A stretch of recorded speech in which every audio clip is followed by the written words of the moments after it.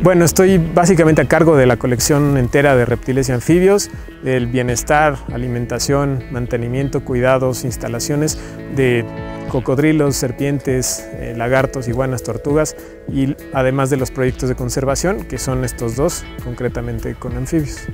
Debido a la finalización de nuestro diagnóstico de dos años con el ajolote alchichica, para el cual tuvimos financiamiento de la Sociedad Zoológica de Londres, decidimos buscar una fuente de financiamiento, entonces encontramos el, programa Por Amor a México de Volkswagen, que financia proyectos de conservación con especies mexicanas. Decidimos participar, eh, desde diciembre del año pasado enviamos la aplicación,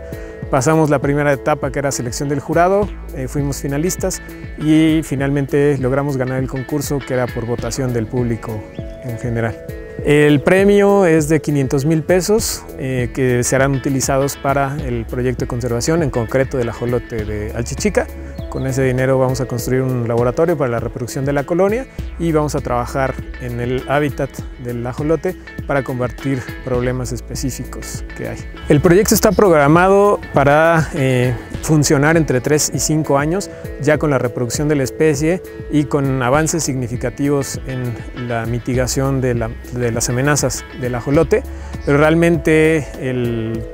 detener totalmente las amenazas para garantizar un hábitat adecuado para la especie es algo a largo plazo, tal vez unos 10 o 20 años. Mientras estudiaba biología en la universidad, desde el 2003, el año que entré a la universidad, entré aquí como voluntario. Estuve los cinco años de carrera este, viniendo acá en fines de semana, vacaciones, y fue que empecé a involucrarme más con la naturaleza, con los animales y aprender más en concreto sobre, sobre el manejo de ellos. Eh, entonces, pues me quedó, digamos, como esa semillita de, seguir trabajando en esto. Me fui a estudiar la maestría y justo al momento de terminar se abrió la vacante como curador de reptiles y anfibios y pues me dieron la oportunidad de venir, así que pues acá estoy desde hace cinco años.